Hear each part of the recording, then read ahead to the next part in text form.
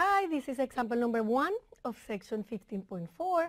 We will talk here about collision between two objects. So we have two rail cars that they are traveling uh, in opposite velocities, opposite directions, right? And they collide.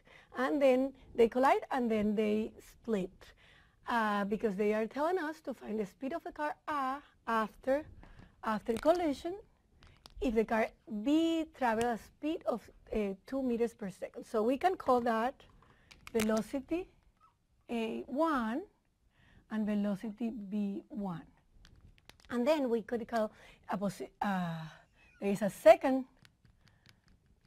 stage. So this is stage number one and this is stage number two. We have car A and car B.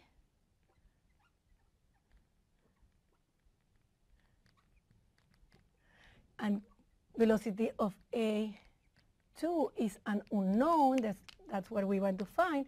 And velocity of B is 2 meters per second. So they say, tell us that they collide, the car B rebounds and travels into the right with a velocity of 2 meters per second.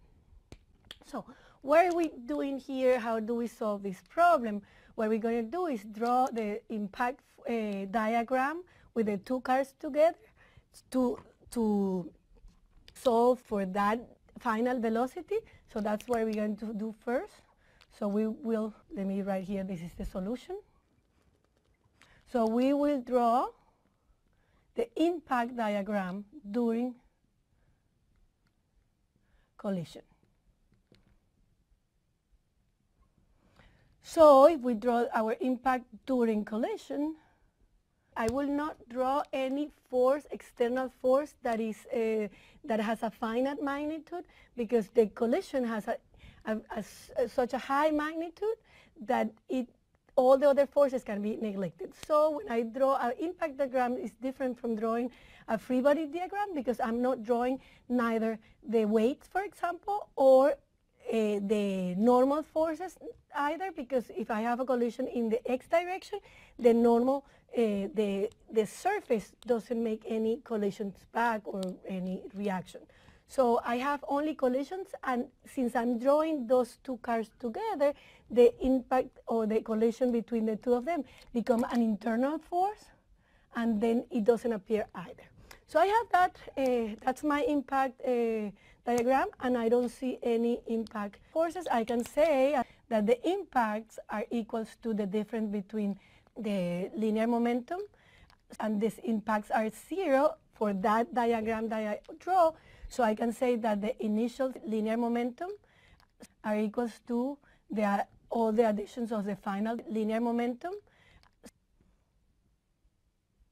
So I can say here that MA plus VA initial plus MA plus VB, this is B of course, um, adding initial will be equals to MA final after collision plus MB final velocity.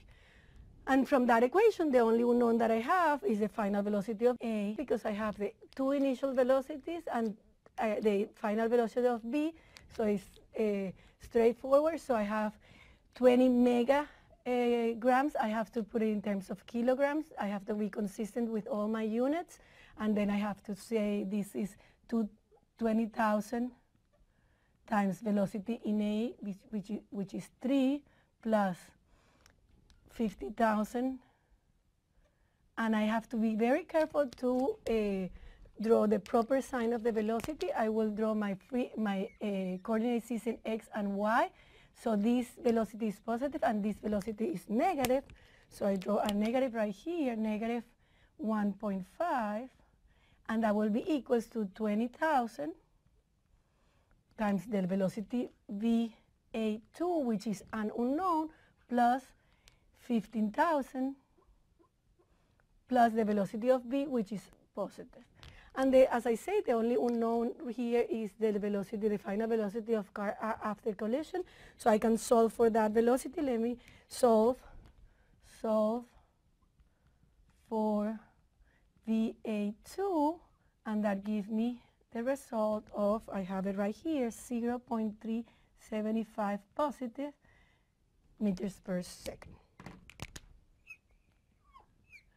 So that was the first thing that we were asked to find. So speed of care A after collision. So we got that. And then we want to find the impulse force between the two cars. Now, here we did not see that impulse force when we draw that uh, in impulse diagram because that was an internal force. If we want to calculate that impulse force, we have to draw, so that will be the second part of my problem, draw the impulse diagram only for car. I can draw either car. Let me draw for car A. So if I draw the impact diagram for A, I will have, and I like to draw like a, a, a kind of a vector with a with a cursive or whatever you want to call it like that so that it, it makes a difference between a force and an impact. So this is not a force, that's the integral of a force over time because that's an imp impact. And I don't draw in the impact, in the impact diagram, I don't draw in either the weight or the normal for the same reason that I explained before. So here we have to apply the same equation, but here we do have an impact, and the impact will be negative impact will be equals to the difference between the linear momentum, but only for that A. So that will be mass A, velocity A2 minus mass A, velocity A1. So see, you see the difference? In this case, I had the two cars together, so I had to, my lin, uh, mo linear momentum was the, the addition of both masses. Here, the linear momentum is only taking care of one mass because that's what I draw in my So here I have everything but the impulse, so I can say that this is equals to mass A, which is 20,000 0.375 minus 20,000 minus the initial velocity was 3. So the impact will be equals to 50 to 500 newtons seconds.